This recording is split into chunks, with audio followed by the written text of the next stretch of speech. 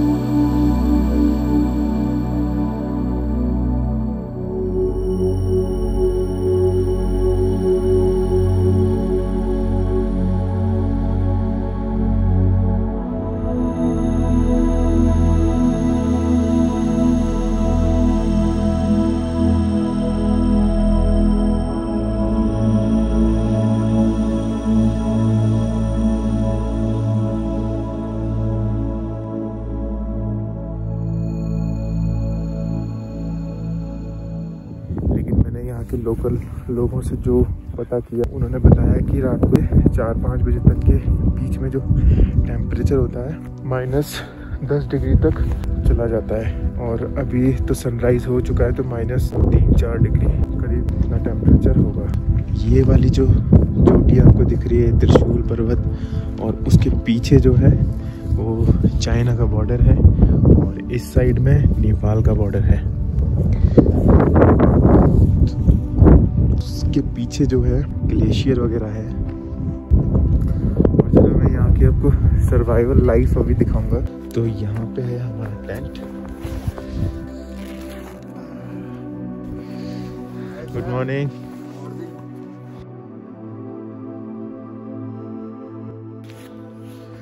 तो मतलब जब आप इसकी कील जो लगा रहे हो ना, वो तिरछी आपको लगानी होगी, जिसको नहीं है जानकारी तो उसके लिए बता रहा हूँ, जिसको है पता तो कोई दिक्कत नहीं है। जब आप ये कील गाड़ोगे, तुम्हारे पास बूट वगैरह जो भी है तो उससे प्रेस कर दो इसको बस अंदर। तो ये हो जाएगा अंदर प्रेस, और तिरछी रखो, और ये जो इसका, इससे घुमावदार है, इसको अपनी तरफ़ रखो, जिससे कि डोरी उससे निकलेगी नहीं। तो मैंने सारे कुछ इस तरीके से ही लगाए हैं। तो कहीं पर भी ऐसी जगह देखो, जहाँ पर भी कुछ आड़ हो, यानी कि तुम्हारे टेंट के पीछे कुछ हो, इस साइड में कुछ हो या उस साइड में कुछ हो, ऐसी जगह लगाओ, जहाँ पे एयर का फ्लो थोड़ा कम हो जाए, कट जाए एयर का फ्लो जिससे कि रात को हवा चले तो तुम्हारे टेंट पे, क्योंकि ज़्यादा असर ना करे आपके टेंट को। तो मैंने इसीलिए इसको यहाँ पे फिक्स किया। और ये यहाँ का व्यू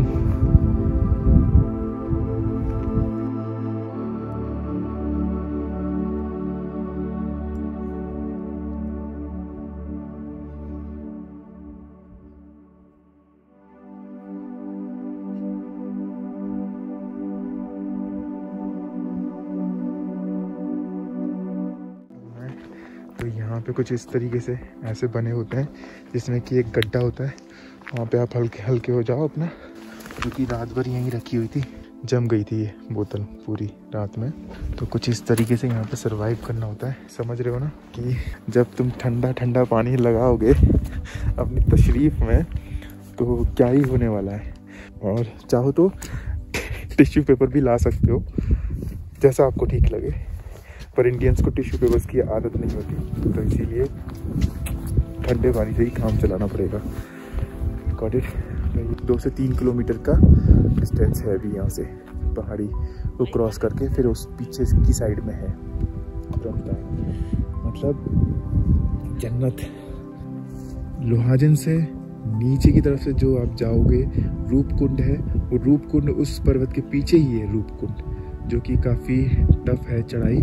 48 किलोमीटर का उसका ट्रैक है, जो कि बर्फीला ट्रैक है। मतलब उसके लिए थोड़ा अच्छा ट्रैकर मतलब अच्छा ट्रैकर तो चलो चल जाएगा, लेकिन आपको भी अच्छा माउंटेनर और वो सब बनना पड़ेगा, मज़बूत बनना पड़ेगा, जिससे कि आप उस वाले ट्रैक को कंप्लीट कर सको। जब ठानी है तुम्हें कि हाँ कर लोगे तो ये वाला ट्रैक भी आप आराम से कर लोगे। ठीक है, एक दिन में तुम झंडी टॉप तक जब मैं आ सकता हूँ तो आप क्यों नहीं आ सकते? और उस वाले ट्रैक को अभी हमने किया नहीं है, लेकिन दिल की तमन्ना है कि एक दिन उसको भी पूरा करेंगे। कोई ना कोई वो दिन आएगा जब हम वो बर्फीला पहाड़ चढ़ेंगे। उसकी भी फतेह हासिल करेंगे। रूप कुंड बहुत सुना है नाम इसका मैंने, काफ़ी लोगों से सुना है और सबने बताया कि बड़ा ही प्यारी सी लोकेशन है। रूप कुंड हो गया अली बुग्याल हो गया, वो भी उसी साइड में है ये सब। अली बुग्याल जैसे ये ये देख रहे हो ना, ये सारे इसी तरीके से वहाँ पे भी खुला खुला मैदान है अली बुग्याल वो भी आपको उसी साइड में है। तो उसके लिए भी वहाँ पे भी आपको गाइड करना पड़ेगा। तब जा करके आप जा सकते हो। अभी देखते हैं नाश्ता पानी का क्या इंतज़ाम है। और मैं थोड़ा सा फ़ोटोग्राफी कर लेता हूँ अपने कैमरे से। और फिर उसके बाद तब तक आप लोग टाइम लैप्स का मज़ा।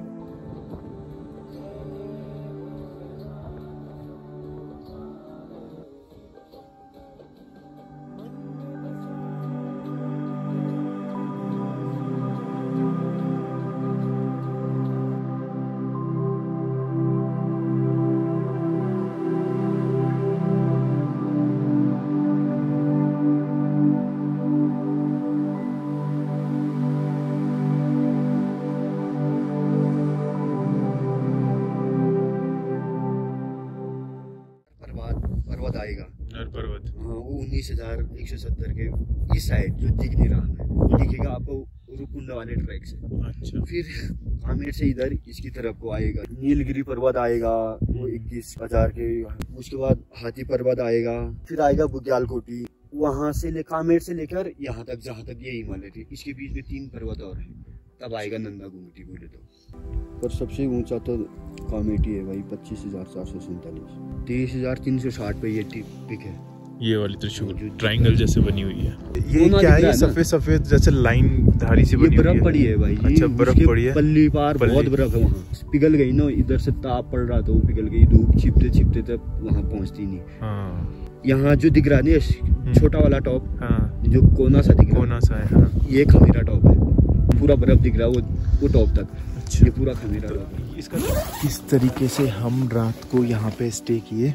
ये है हमारा स्लीपिंग बैग ये मैंने सिंगल किया हुआ था, लेकिन सिंगल में मेरे को कंफर्टेबल नहीं हो रहा था, थोड़ा मतलब घुटन जैसी हो रही थी तो फिर मैंने इसको डबल ही कर लिया। और अंदर से एक कंबल था, जिसकी वजह से मैं बच गया, वरना बहुत ज़्यादा ठंडा लगने वाला था, वो तो अंकल से ले लिया था मैंने, एक कंबल मैंने कहा दे दो।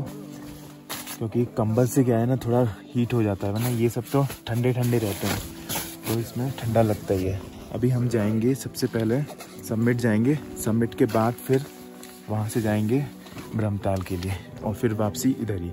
और अगर हो सके तो अभी आकर के ही टेंट पैक करके स्लीपिंग बैग पैक करके और फिर नीचे लोहाजंग की ओर रवाना हो जाएँगे। चलिए फिर आगे बढ़ते हैं अब। वहीं पे नाश्ता करेंगे। तो अभी आठ चालीस पे हम लोग निकल चुके हैं समिट की ओर।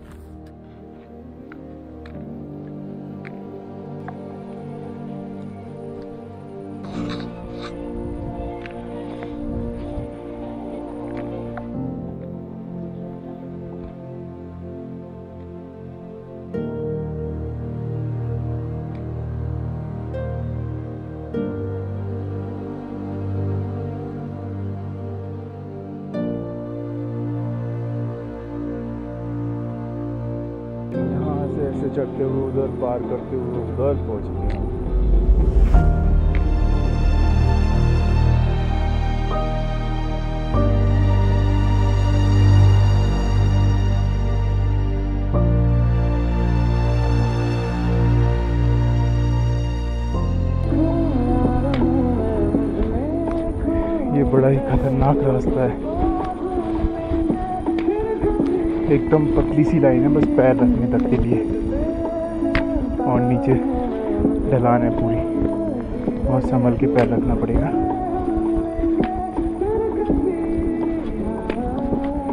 चलो हैंड खत्म हो गई। रास्ता कितना पतला पतला है। फिर से वही।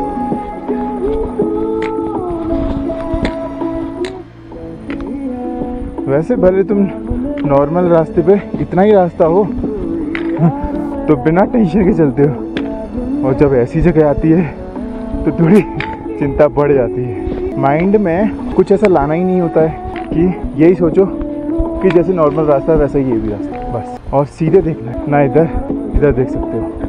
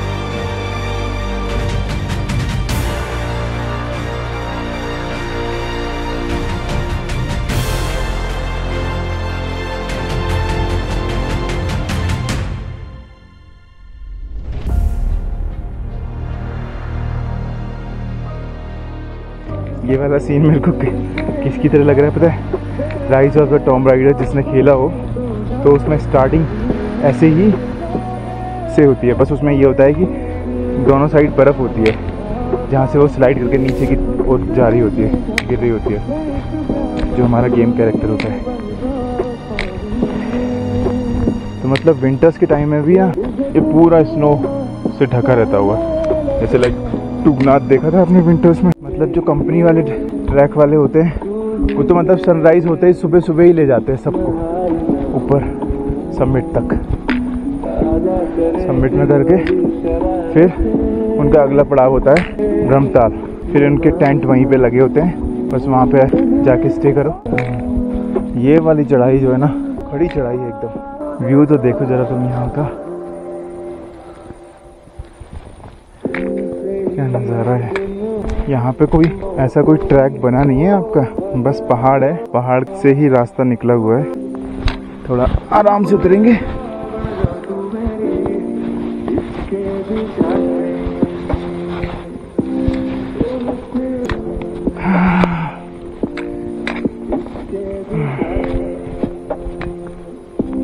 एक तो कंकड़ पत्थर है ना, स्लिप भी कर सकता है। थोड़ा यहाँ रुक के ना, पानी पीते हैं।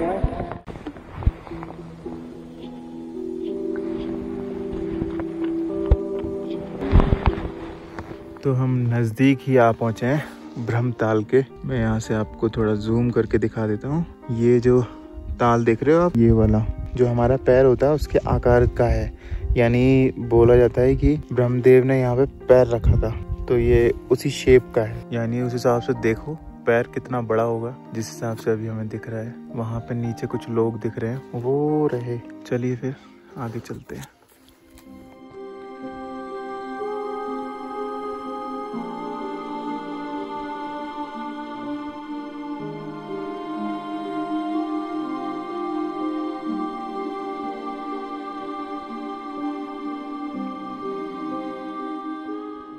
ब्रेक लेते हैं।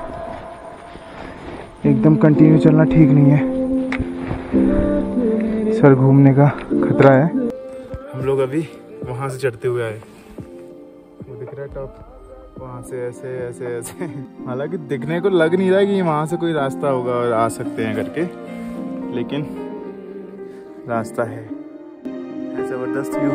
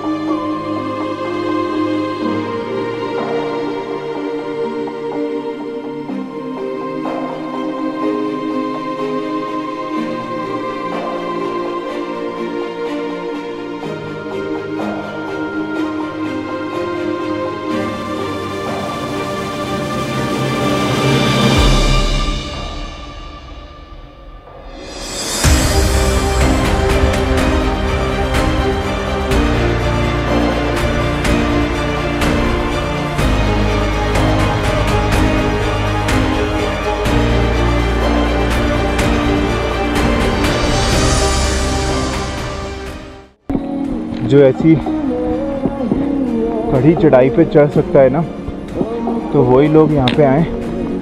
अदरवाइज़ जो नहीं चढ़ सकते, वो स्किप मारें।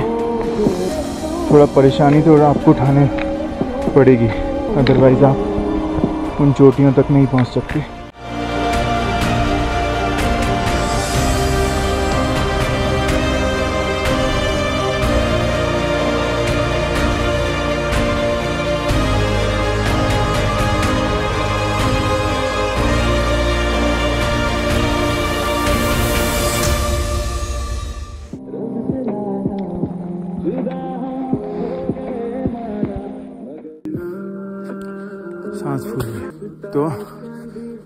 रुक रुक के चलें, क्योंकि बहुत ज़्यादा हाइट पे हैं अभी हम।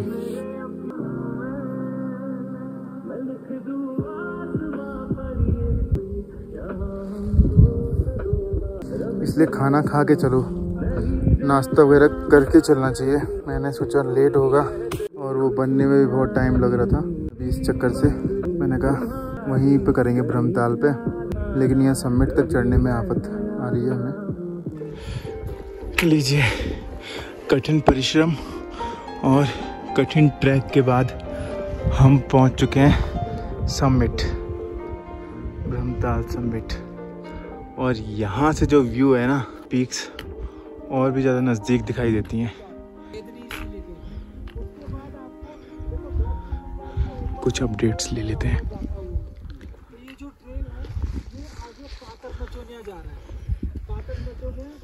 थर्ड कैंप साइट है। उसके बाद वहाँ पे ये ऊपर के लिए चढ़ रहा है रिच पे और रिच पे ये फोर्थ कैंप साइट भगवा बासा जाता है।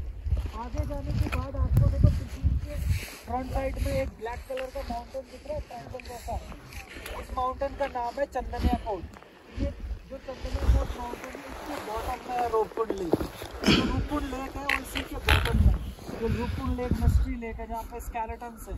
तो वो इसी के बॉटम में है रूपकुंड और ये जो रिज दिख रही है ये रिज जो है, ये जुनार गली है यानी कि रूपकुंड का समिट पॉइंट है सिक्सटीन थाउज़ेंड फीट पे है ठीक है तो ये है आपका हिमालयाज के बारे में आपको बताया ग्रेटर हिमालयाज रेंज आपको दिख रही है, गढ़वाल, कुमाऊं हिमालयाज। बाकी रूपकुंड भी यही है और इसके आगे है होमकुंड एक्चुअली एक उत्तराखंड में क्या है? एक होमकुंड है और एक हेमकुंड है। हेमकुंड जोशीमठ में पड़ता है। वो सिखों का सबसे बड़ा गुरुद्वारा है। और होमकुंड जो है होमकुंड यहाँ पे पड़ता है। तो मैंने आपको नीचे ब्रीफिंग में भी मेंशन किया था कि नंदा देवी राजजात यात्रा। तो जो नंदा देवी राजजात यात्रा है, वो वर्ल्ड की सबसे लंबी पैदल यात्रा है 280 किलोमीटर की। 280 किलोमीटर की पैदल यात्रा है, जो कर्णप्रयाग के नौटी गाँव से स्टार्ट होती है और होमकुंड में जाके खत्म हो जाती है। जो नंगे पाँव वेयर फिट जाती है वो यात्रा, जो प्लस 40 टेम्परेचर से स्टार्ट होती है और माइनस थर्टी फाइव टेम्परेचर में जाके खत्म हो जाती है। लोगों की ऐसी आस्था है कि लोग माइनस थर्टी फाइव टेम्परेचर में ग्लेशियर के ऊपर नंगे पाँव माता पार्वती जी की डोली को ले जाते हैं। तो वो इसी ट्रेन से जाती है। वो लोहाजंग पहुँचती है, लोहाजंग उसका ग्यारहवा पड़ाव है। बारहवें पड़ाव में वो बाढ़ पहुँचती है। बाढ़ के बाद तेरहवें में बैदनी जाती है। बैदनी के बाद पातर नचोनिया फिर बगुआ बासा, रूपकुंड होते हुए वो आगे जाती है। होमकुंड पे जाके वो ख़त्म हो जाती है। वहाँ पे बहुत बड़ा सा एक लेक है, पौंड है, कुंड। और वहाँ पे भगवान भोले शंकर की शादी होती है माता पार्वती से। तो वहाँ पे शिवलिंग है नेचुरल और उसके साथ में फेरे लगते हैं। फेरे लगने के बाद बैक रूट से वो यात्रा वापस ले जाती है। कर्णप्रयाग नोटी और इसको हिमालयन कुंभ के नाम से भी जाना जाता है। तो ये काफ़ी धार्मिक और काफ़ी माइथोलॉजिकल काफ़ी पवित्र यात्रा है। और ये हर 12 साल में एक बार होती है। 2012 में हुई थी, अभी 2024 में होने वाली है। हर 12 साल में सितंबर माह में होती है। सितंबर में होती है और हर साल भी होती है, लेकिन वो जो हर साल होती है एवरी ईयर सितंबर में जो होती है, वो बेदनी में जाके ख़त्म हो जाती है। बट जो एवरी ट्वेल्व ईयर में होती है, वो होम कुंड में जाके ख़त्म होती है। और उसमें कम से कम करोड़ से ऊपर लोग होते हैं। और काफ़ी लोग लोहाजंग तक आते हैं, काफ़ी लोग बेदनी तक आते हैं, काफ़ी लोग आगे तक जाते हैं। भंडारे वगैरह सब कुछ सारा अरेंजमेंट होता है आप लोग नीचे जाके नेट पे सर्च कर सकते हैं, नंदा देवी राजजात यात्रा। आपको और भी बाकी आप लोगों को बता दें काफ़ी लोग सस्पेंस में रहते हैं हिमालय कैलाश क्या है? कैलाश क्या अलग चीज़ है? पर्टिकुलर प्लेस का नाम है कैलाश मीन्स हिमालयन रेंज जो भगवान भोले शंकर भगवान भोलेनाथ का वास था। जहाँ भगवान भोले शंकर रहते थे तो उसको कहते हैं कैलाश। ये जो एरिया यहाँ से रूपकुंड, ये आली बेतली बुग्याल जो आपको दिख रहा है एशिया का सबसे लार्जेस्ट मेडो है ये बिगेस्ट मेडो यहाँ से जो कैलाश है, उसका कॉरिडोर है ये. ये फ्रंट पार्ट है कैलाश का. तो यहाँ से कॉरिडोर है स्टार्ट हो जाता है कैलाश. तो ये यहाँ से आगे जाके कैलाश पूरा इसके पीछे आदि कैलाश है. अगर आप लेफ़्ट साइड राइट साइड से शुरू करोगे, धारचूला मुंशियारी से तो आदि कैलाश रेंज और ये पूरा कैलाश ही है। इससे पीछे आदि कैलाश कैलाश मानसरोवर इसके आगे ही है। लेकिन वो चाइना के कारण परमिशन नहीं मिलती तो बैचेस रुकने के संभावना रहती है तो चलता नहीं है वो। तो ये कॉरिडोर है। तो ये जो नंदा घूंगटी है, इसका नाम नंदा घूंगटी इसलिए पड़ा, ये माता पार्वती जी का, नंदा जी का घूंघट है। इसीलिए इसको नंदा घूंघटी कहते हैं। बीच में जो बैतार तोली वन बैतार तोली टू दिख रही है six thousand three fifty eight metre की जो माउंटेन है, वो जो बैतार तोली है बैतार तोली गणेश और कार्तिकीय माने जाते हैं। और ये जो माउंट त्रिशूल है, त्रिशूल, भगवान भोले शंकर का त्रिशूल है।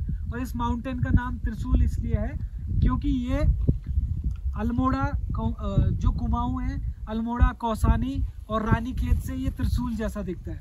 जैसे त्रिशूल होता है ना, झंडी टॉप में देखा होगा आपने। इसीलिए इसका नाम त्रिशूल है, ठीक है? तो ये भगवान भोले शंकर की होल फैमिली भी कहा जाता है। लॉर्ड शिवा की इस जगह को। बाकी त्रिशूल के बारे में एक और रोचक तथ्य है, त्रिशूल ऐसा माउंटेन है जो first seven thousand metre mountain था, जो क्लाइम हुआ था माउंट एवरेस्ट से भी पहले। तो Trishul first seven thousand metre mountain है, जो क्लाइम हुआ था इंडिया में। और अभी पिछले सात साल से त्रिशूल क्लाइम नहीं हुआ है, इस पर सबसे ज़्यादा डेथ रेट है। ये काफ़ी टेक्निकल माउंटेन है। इवन माउंट एवरेस्ट से भी डिफ़िकल्ट है मैंने भी 2019 में इंडियन माउंटेन फेडरेशन की तरफ़ से इसमें अटैम्प्ट किया था बट हमारा भी अनसक्सेसफुल रहा जहाँ पे ये क्लाउड दिख रहे हैं, हम लोग यहाँ से वापस लौट गए थे। आप लोग हमारा, हमारी डॉक्यूमेंट्री भी है इंडियन माउंटेन फाउंडेशन पे आप लोग देख सकते हैं, उसमें मैं दिख जाऊँगा। बाकी ये जो सामने माउंटेन दिख रहा है, नंदा घोंगटी इसको मैंने टू टाइम क्लाइंब किया। है 2015 में किया था क्रेजी पिक के साथ एंड 2016 में किया था एडवेंचर पॉल्स के साथ। तो ये ज़्यादा ट्रैकेबल पीक नहीं है इजीली क्लाइम हो जाती है, इसके लिए थोड़ा सा ट्रैक एक्सपीरियंस और थोड़ा सा फिटनेस लेवल चाहिए होता है सिक्स थाउज़ेंड मीटर ये था हिमालय के बारे में। बाकी हमारा ये इंडिया एक्स का समिट बैनर है डन ब्रह्मताल ट्रैक तो ये बैनर आप लोग ले लीजिए। इसके साथ आप अपना पर्सनल फ़ोटो खींच सकते हैं, ठीक है? उसके बाद लास्ट में हम लोग एक ग्रुप फ़ोटो लेंगे। ग्रुप फ़ोटो लेने के बाद हम यहाँ से निकलेंगे। तो अभी टाइम क्या हो रहा है कोई बता सकते हैं? ठीक है टेन टेन हो रहा है तो लेवन ओ क्लॉक यहाँ से हम लोग मूव करेंगे। डन इतना टाइम काफ़ी है? तो आराम से इतने टाइम में आप लोग अपनी फ़ोटो वीडियो बना लो फ़ोटो ले लो। तो कैसी लगी जानकारी आपको? जान के अच्छा लगा? मैंने भी पहली बार इतनी सारी जानकारी सबमिट की है। सबमिट प्लेस पे। तो मज़ा आ गया जान के। पूरी होल फैमिली है। बढ़िया था। मज़ा ही आ गया यहाँ का व्यू अब एक बार मैं आपको सब कुछ दिखाता हूँ। और थोड़ी देर हम लोग यहाँ पे रेस्ट करेंगे। रेस्ट करने के बाद फिर यहाँ से आगे, नीचे की ओर रवाना होंगे। और कुछ पिक्चर्स यहाँ पे मैंने क्लिक किए हैं। वो आप देखिए अभी।